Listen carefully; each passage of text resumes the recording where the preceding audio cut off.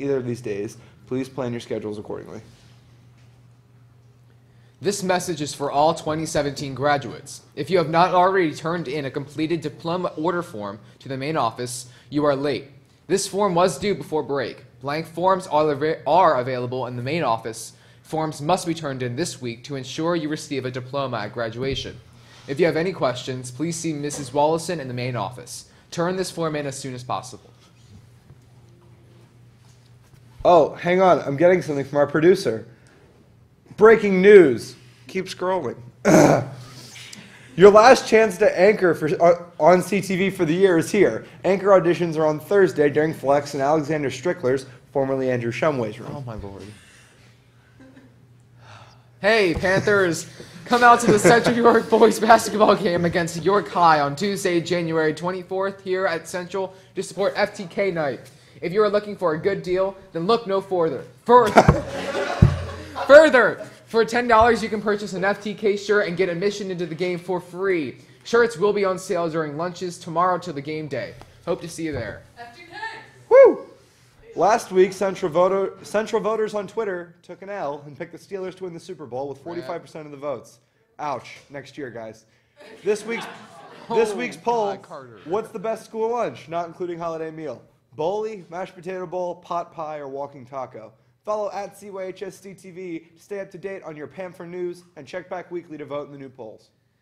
This could be you. Young women ages 17 to 24 and teens 12 to 17 are eligible.